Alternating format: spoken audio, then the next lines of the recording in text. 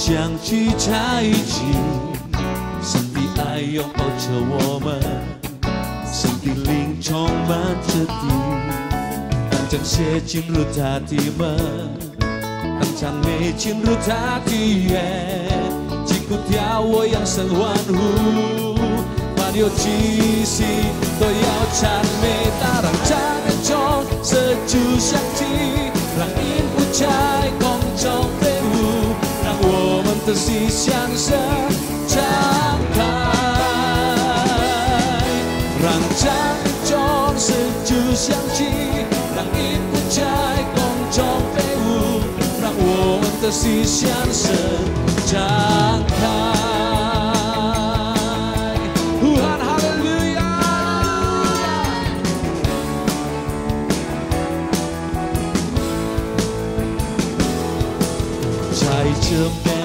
我们相聚在一起，神的爱拥抱着我们，神的灵充满着地，当将血进入他的门，当将美进入他的眼，击鼓跳我扬声欢呼，马六气息都要赞美他，让赞美中射出香气，让音符在空中飞舞，让我们的心向神敞开，让赞美中射出香气，让音符在空中飞舞，让我们的心向神敞开。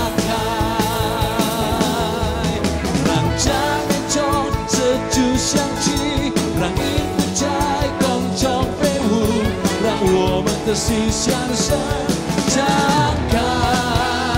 哦让赞美中射出香气，让音符在空中飞舞，让我们的心向神敞开。让赞美中射出香气，让音符在空中飞舞，让我们的心向神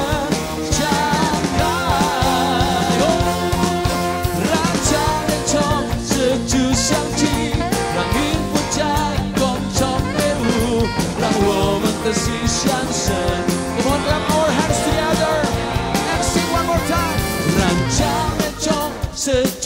chi, rang in bu con trong veu, rang woman Mrs. Johnson. Chang dai,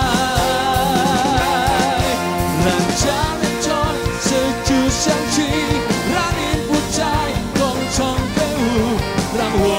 的心向神敞来欢呼，哈利路亚！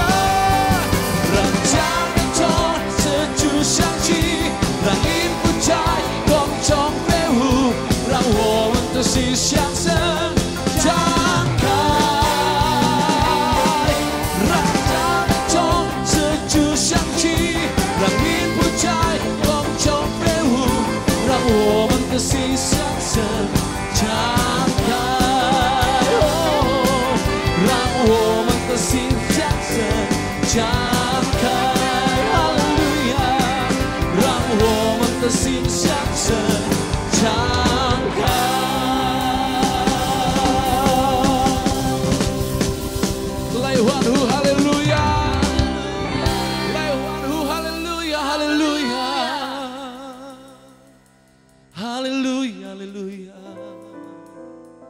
我们敬拜你，耶稣，我们赞美你，耶稣，哈利路亚，哈利路亚！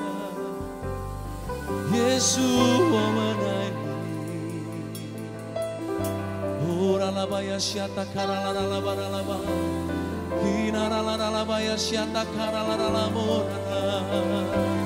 我们爱你，耶稣。 我们渴慕你，直到永远。我们爱你，哦，我们渴慕你，直到。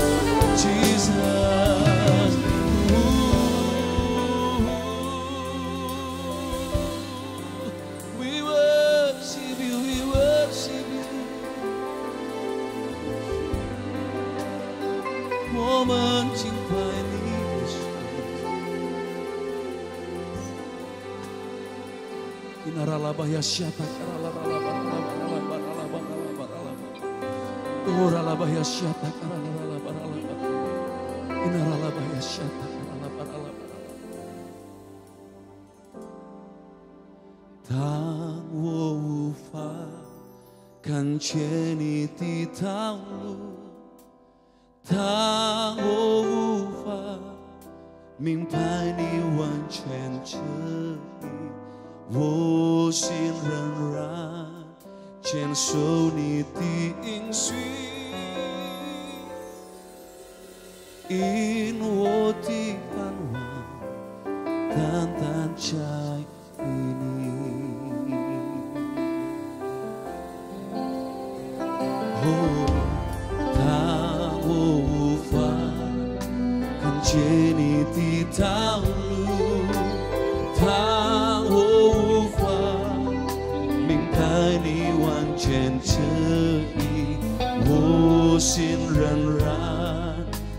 Sonic, 因我的 insee, 为你，祝我前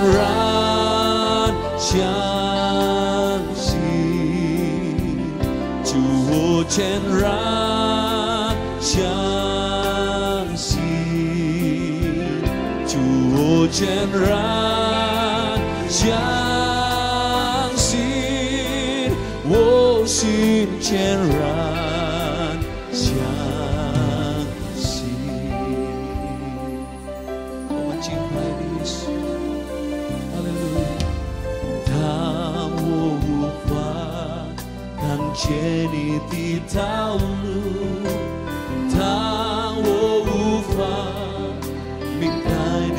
完全旨意，我心仍然接受你。的应许，因我的盼望单单在于你，祝我全。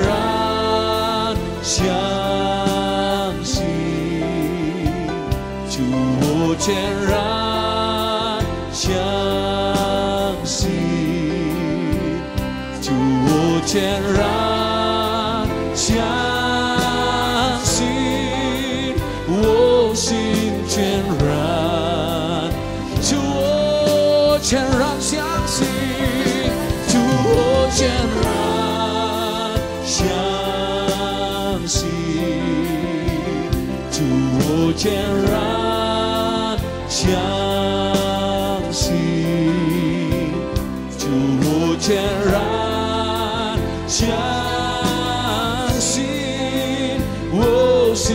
全然想，让我们的起来，尽快声。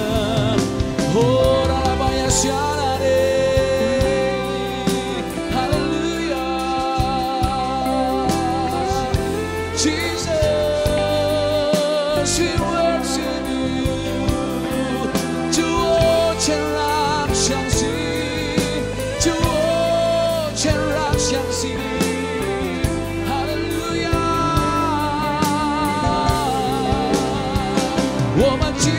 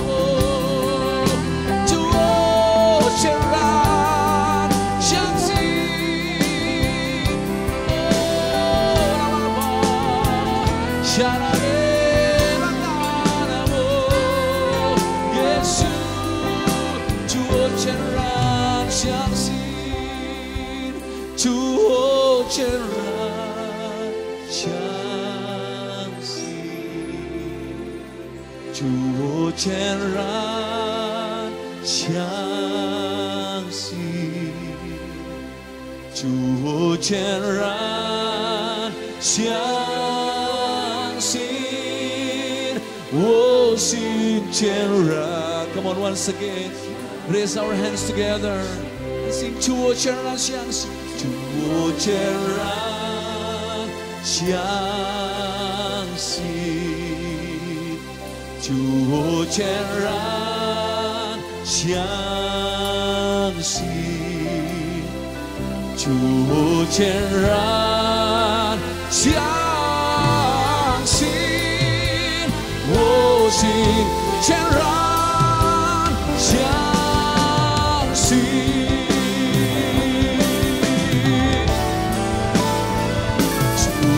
turn run.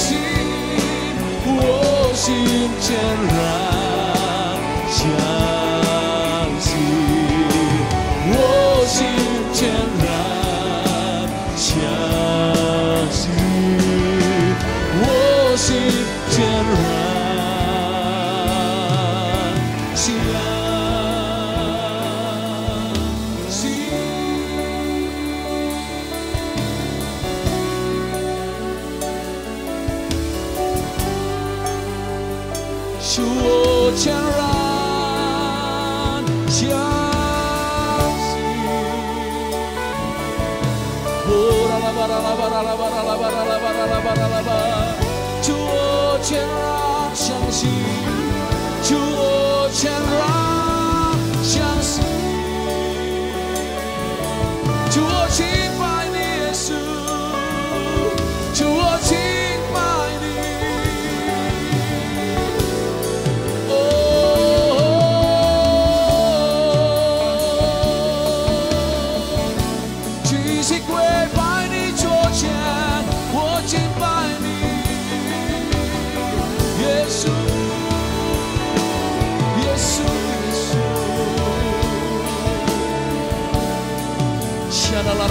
巴拉拉巴拉拉，巴拉拉拉拉拉拉，你个童傻。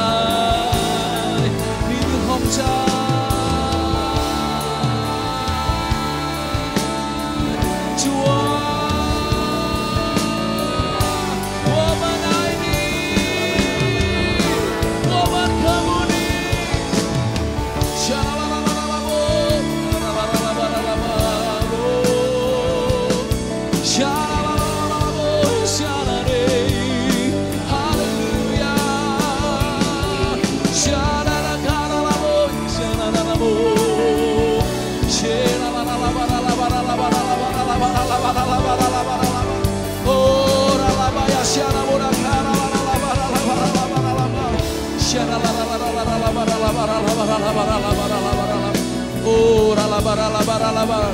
Oh, ralaba. Come on, open our, our even more.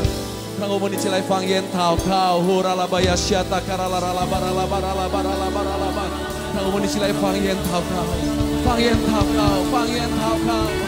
Oh, ralaba ralaba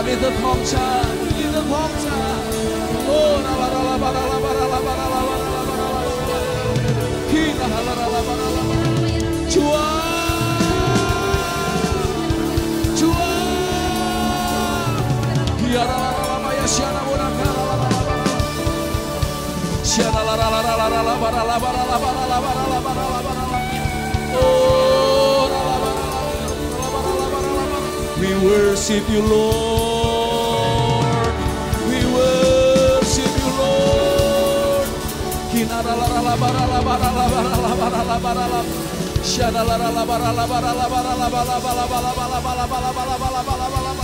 Oh,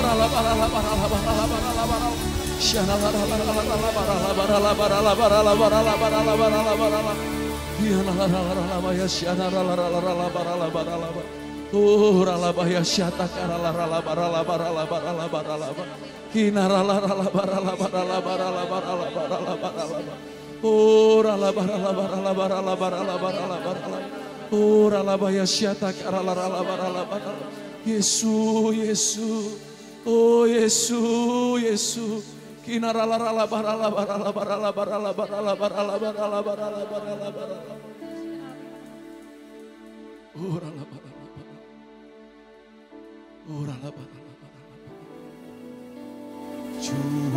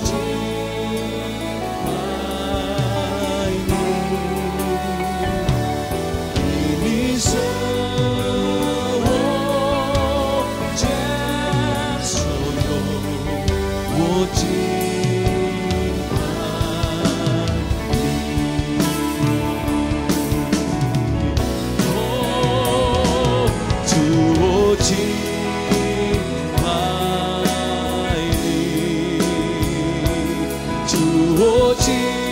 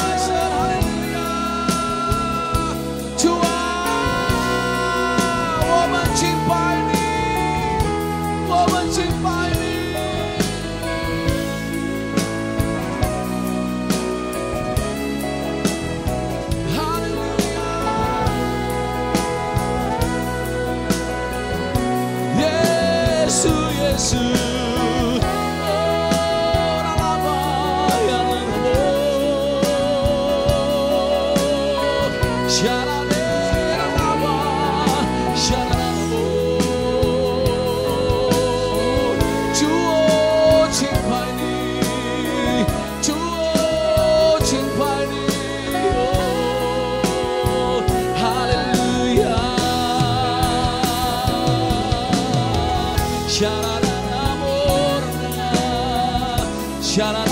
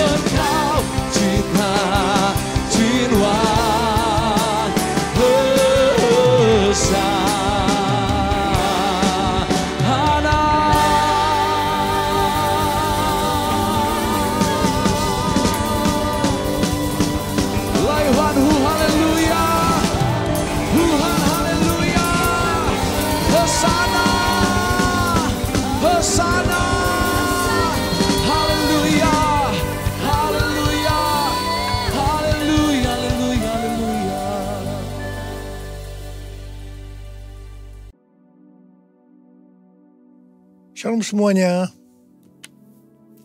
Menurut kalender Ibrani, dari tanggal 15 September 2023 sampai dengan tanggal 2 Oktober 2024, kita memasuki tahun 5784, yaitu P Dalet.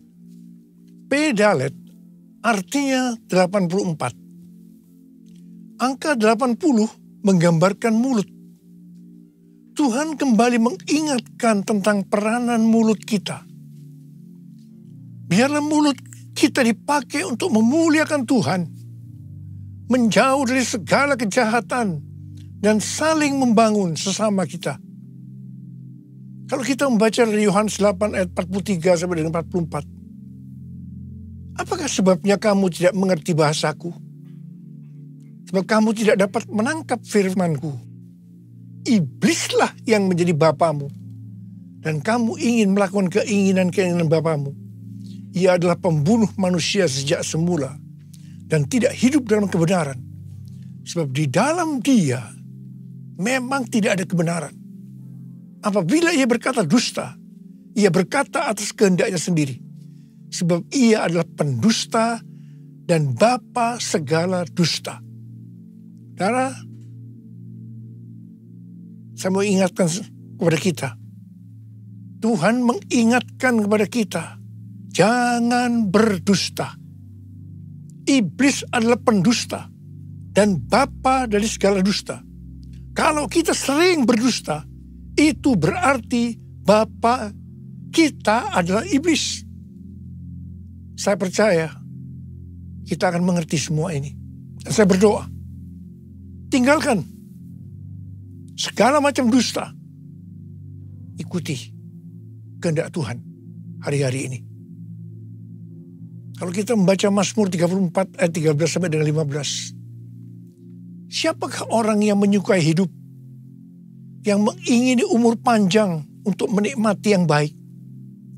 Jagalah lidahmu terhadap yang jahat dan bibirmu terhadap ucapan-ucapan yang menipu. Jauhilah yang jahat dan lakukanlah yang baik. Carilah perdamaian dan berusahalah mendapatkannya. Tuhan Yesus berkata juga dalam Matius 12 ayat 36 sampai dengan 37. Ia berkata, setiap kata sia-sia yang diucapkan orang harus dipertanggungjawabkan pada hari penghakiman. Karena menurut ucapanmu engkau akan dibenarkan. Dan menurut ucapanmu pula engkau akan dihukum. Mulut bisa diterjemahkan juga sebagai apa saja yang kita ketik dalam sosmed.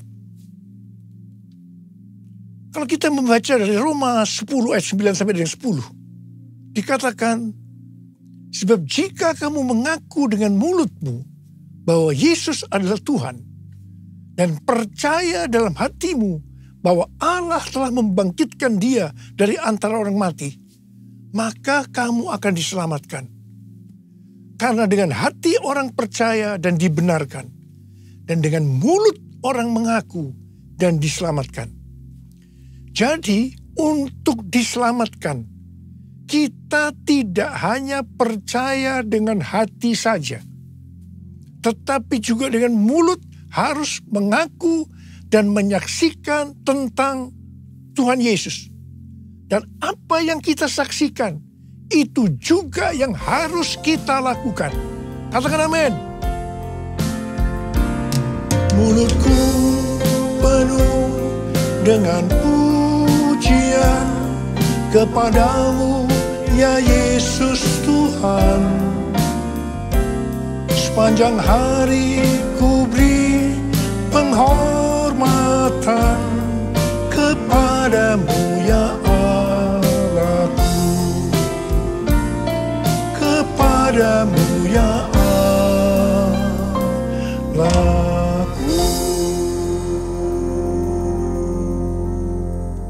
Pada tanggal 5 Agustus 2023, waktu MDPJ bulan Agustus, pagi harinya saya masuk saat teduh.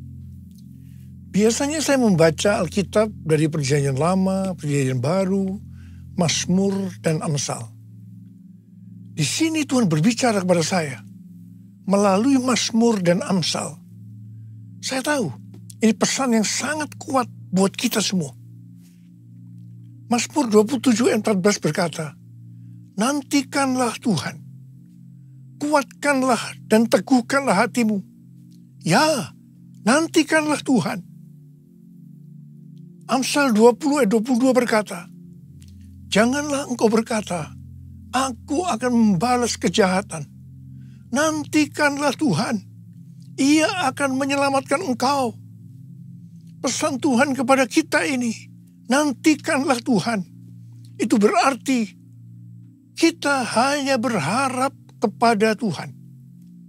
Dalam menantikan Tuhan, kita diminta banyak berdiam diri dalam hadirat Tuhan.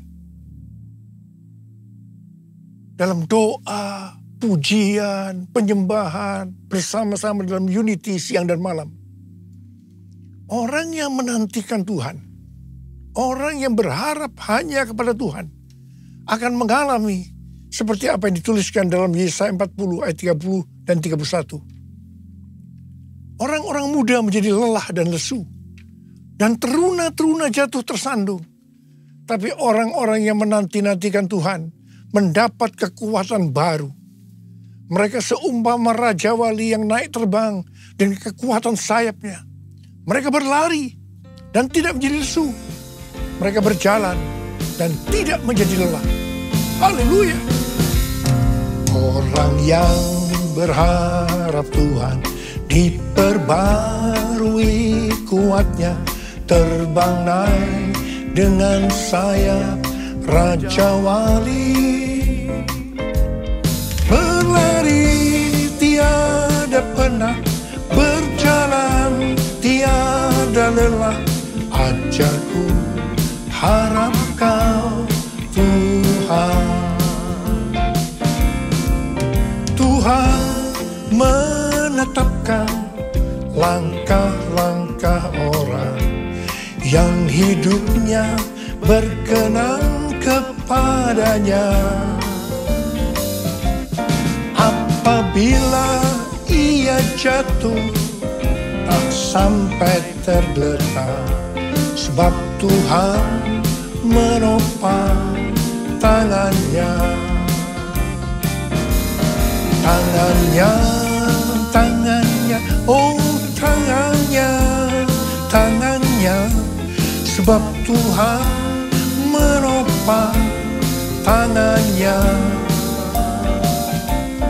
Apabila ia jatuh tak sampai tergeletak sebab Tuhan menopang tangannya. Angkat tangan kita. Dan Tuhan menopang tanganku. Sebab Tuhan menopang tanganku. Sekali lagi. sebab Tuhan menopang tanganku. Haleluya. Dalet atau angka 4 digambarkan sebagai sebuah pintu terbuka dan juga digambarkan dengan seorang dengan posisi yang membungkuk, menunduk, yang melambangkan kerendahan hati dan kesadaran bahwa kita tidak memiliki sesuatu apa pun jika tidak diberikan oleh Sang Pencipta. Daud adalah gambaran dari seorang yang terus berupaya untuk memiliki hati yang berkenan kepada Tuhan. Nama Daud mengandung arti dari kerendahan hati kepada kerendahan hati. Kita adalah murid-murid Tuhan Yesus. Dan sesuai dengan 1 Yohanes 2 ayat 6. Maka murid Tuhan Yesus adalah mereka yang hidupnya sama seperti Kristus telah hidup. Dalam Filipi 2 ayat 5 sampai dengan 11 dikatakan, Hendaklah kamu dalam hidupmu bersama menaruh pikiran dan perasaan yang terdapat juga dalam Kristus Yesus. Yang walaupun dalam rupa Allah tidak menganggap kesetaraan dengan Allah itu sebagai milik yang harus dipertahankan. Melainkan telah mengosongkan dirinya sendiri dan mengambil rupa seorang hamba dan menjadi sama dengan manusia.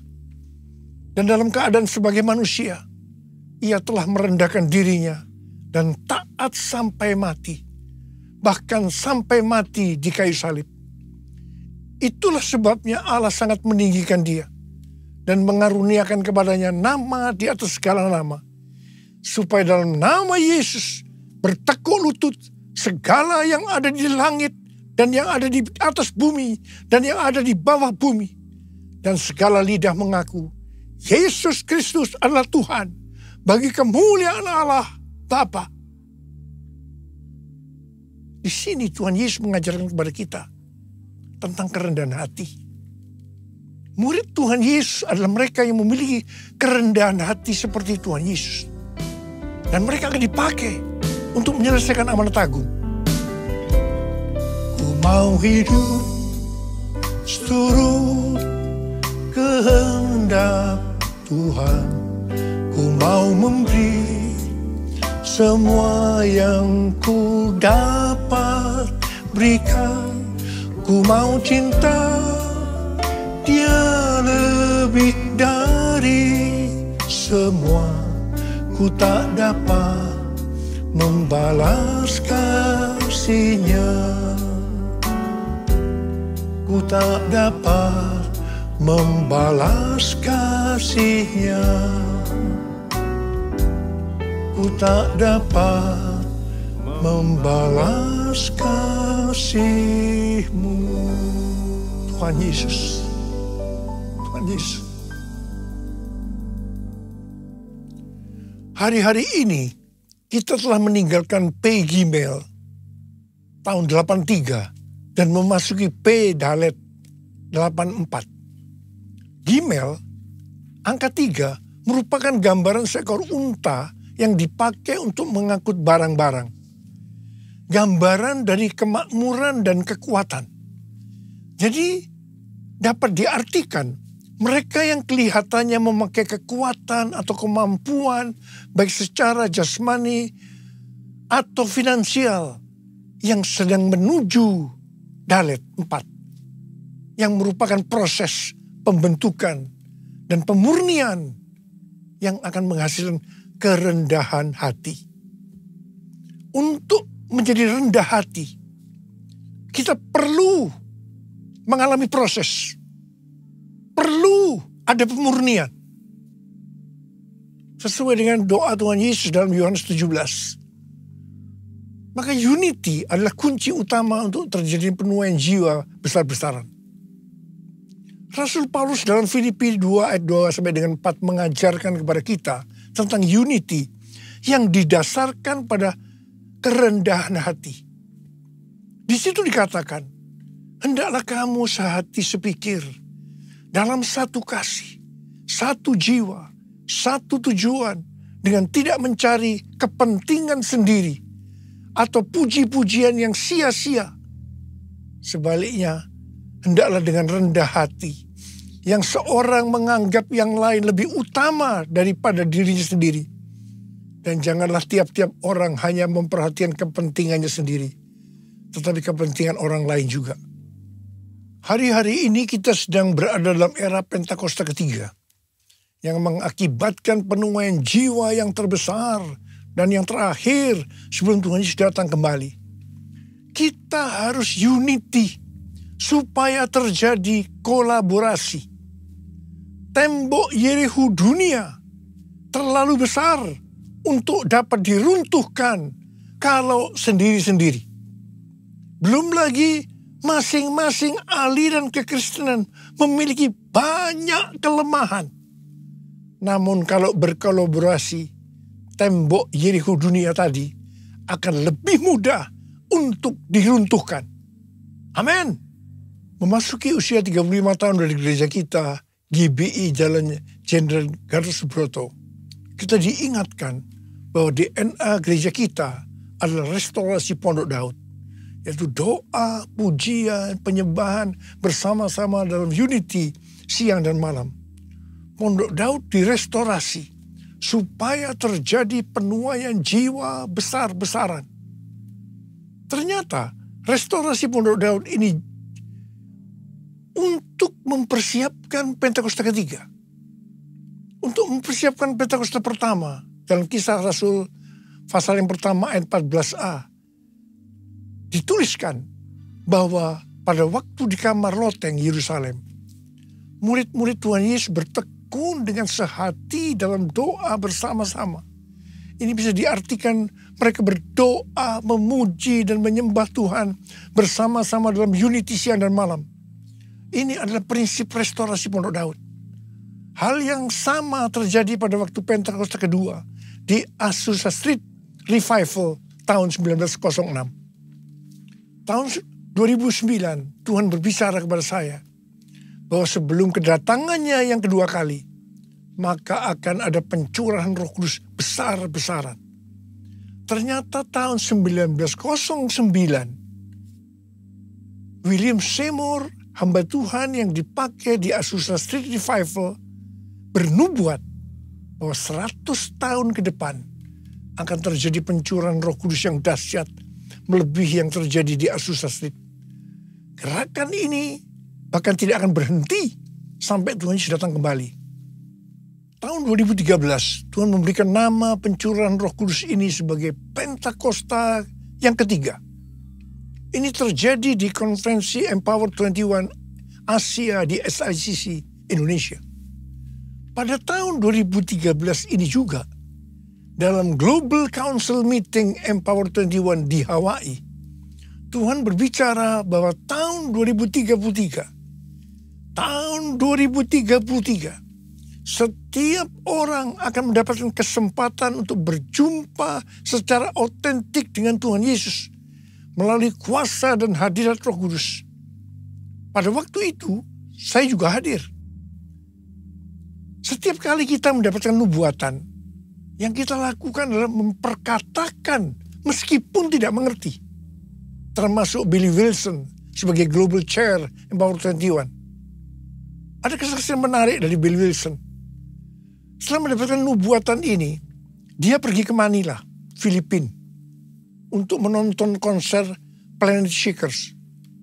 Dia berpakaian warna merah. Tiba-tiba di tengah konser, acara itu dihentikan oleh pimpinannya yang bernama Neil Smith.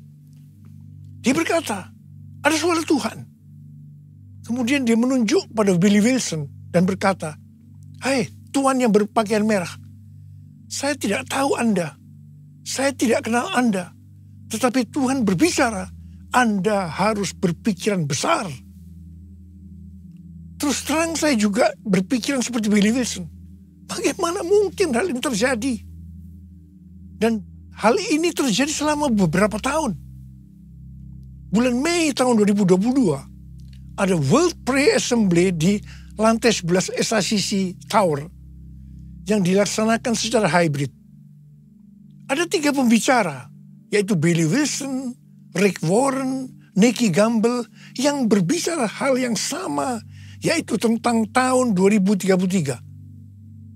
Billy Wilson mewakili aliran Pentakosta, Rick Warren mewakili aliran Baptis, dan Nicky Gamble mewakili Anglican. Semua mendapatkan hal yang sama. Bahkan Rick Warren mendapatkan bahwa tahun 2033 adalah goal penyelesaian amanat agung. Tiba-tiba saya mendapatkan suatu pengertian. Saya berkata, berteriak, I got it, I got it. Pada waktu di EPT bulan Juli 2022, yaitu saat dimulainya pembangunan EPT, Azusa Street Prayer Tower, saya bersaksi tentang hal ini. Billy Wilson juga ada di sana. Saya percaya ini merupakan peneguhan tentang nubuatan yang didapatkan tahun 2013. Yaitu tentang tahun 2033 itu. Tema konferensi di Amsterdam yang tadinya adalah evangelism. A new era of evangelism is dawning. Diubah menjadi everyone. A new era of evangelism dalam konferensi ini membicarakan tentang tahun 2033. Ini diikuti oleh sekitar 6.000 orang dari 130 negara yang hadir on-site dan 22 negara secara online. Saya berbicara dua kali, yang pertama di workshop dan yang kedua di Olympic Stadium hari terakhir. Saya berbicara tentang Pentakosta ketiga. Menjelang akhir dari konferensi ini, dalam rapat diputuskan bahwa tahun 2024 akan ada konferensi Empower 21 Everyone Asia 2024 Reaching Every Person on Earth di Indonesia. Tanggal 3 sampai 5 Juli 2024 di SICC dan tanggal 6 Juli di Stadion GBK. Kita percaya ini adalah trigger kegerakan dari next gen dunia. Anak-anak muda. Pada waktu di Amsterdam, di hadapan Global Council Meeting dari Empower 21, saya berkata bahwa saya percaya tahun 2033 setiap orang akan mendapatkan kesempatan untuk berjumpa secara otentik dengan Tuhan Yesus melalui kuasa dan hadirat Roh Kudus. Dan saya berjanji kepada Tuhan akan habis-habisan melayani Tuhan.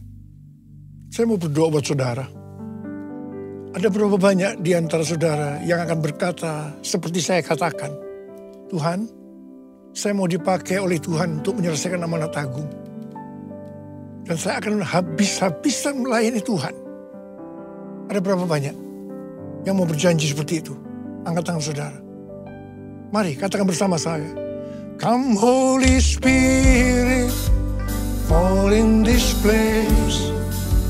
I need more and more of you. Fill me again with the power of your spirit. Crying out for more and more of you. Mari angkat tangan saudara. Kita berbahasa roh sekarang. Kurang dapat sandal. Oh, dia lala bala bala bala bala bala bala bala bala bala bala bala bala bala bala Tuhan curahkan rohmu Curahkan rohmu urapi kami Tuhan Urapi kami semua Urapi kami ya Tuhan Urapi menyelesaikan amanat agung kami akan habis-habisan melayani Tuhan.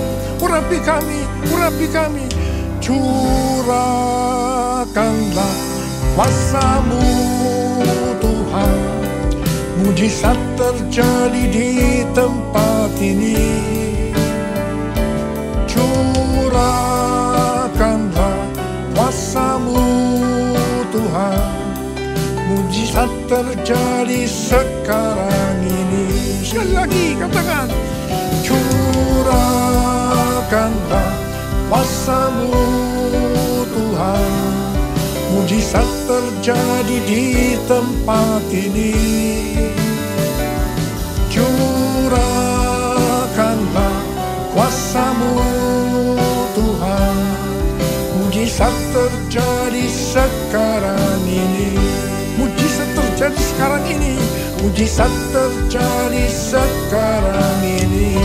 Sekali lagi mujizat terjadi sekarang ini.